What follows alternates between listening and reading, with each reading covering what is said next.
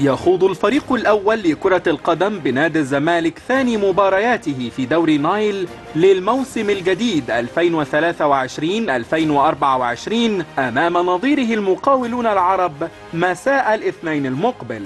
وكان الزمالك قد استهل مشواره في دوري نايل بتعادل مثير أمام بيراميدز بهدفين لكل فريق بملعب الدفاع الجوي الخميس الماضي.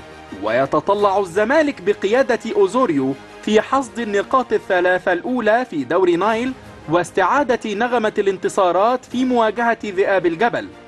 الكولومبي خوان كارلوس أوزوريو يخوض مباراته رقم 20 في القيادة الفنية للزمالك أمام المقاولون. وقاد أوزوريو الفارس الأبيض في 19 مباراة سابقة بالدوري والكأس والبطولة العربية والكونفدرالية. واستطاع الكولومبي تحقيق عشرة انتصارات مقابل التعادل في خمسة والخسارة في أربعة. وسجل هجوم الزمالك في ولاية مديره الفني الحالي 37 هدفا في حين سكن شباك الفريق 24 هدفا. ويتطلع أوزوريو لقيادة الزمالك لأولى انتصاراته في دوري نايل بالموسم الجاري والوصول إلى 11 فوزا مع الفارس الأبيض منذ تولي المهمة في أبريل الماضي.